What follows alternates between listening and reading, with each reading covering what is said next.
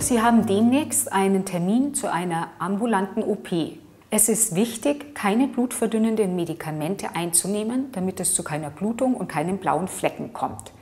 Dazu zählen acetylsalicylsäurehaltige Präparate wie beispielsweise Aspirin, Spalt, Alka-Seltzer oder wie sie alle heißen mögen. Es ist wichtig, auch auf Vitamin E und Ginkgo-Präparate zu verzichten. Im Zweifel rufen Sie an, wir klären das. Vielen Dank.